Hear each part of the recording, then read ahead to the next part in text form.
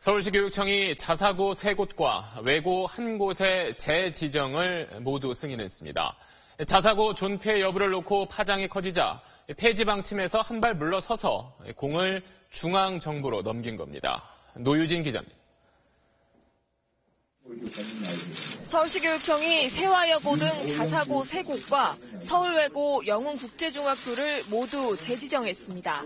재평가를 모두 통과해 일반고로 바뀌지 않고 자사고와 외고의 지위를 유지하게 된 겁니다. 서울시교육청이 그동안 자사고와 외고를 폐지해야 한다고 줄곧 주장해왔던 것과는 다른 결과입니다. 오늘부로 저는 평가를 통한 자사고의 일반고로의 전환 경로는 타당하지도 현실적이지도 않다는 점을 선언적으로 밝히고자 합니다.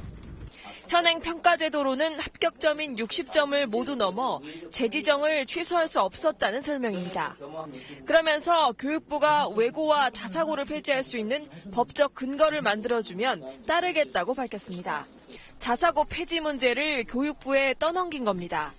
또 다음 평가를 받게 되는 자사고와 외고부터 단계적으로 일반고로 바꾸자는 대안도 제시했습니다.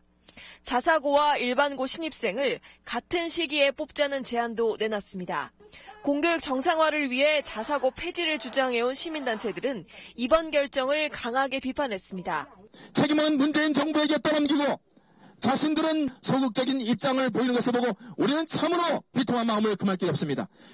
전국 자사고 46곳 가운데 23곳이 모여 있는 서울이 이같이 결정하면서 다른 지역 교육청의 자사고 폐지 문제에도 영향을 미칠 것으로 보입니다. SBS 노신입니다.